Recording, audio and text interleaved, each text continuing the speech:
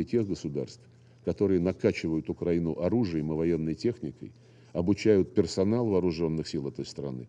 Цель очевидна. Они ее не скрывают, они ее декларируют. Максимально затянуть боевые действия, несмотря на жертвы и разрушения, для того, чтобы истощить и ослабить Россию.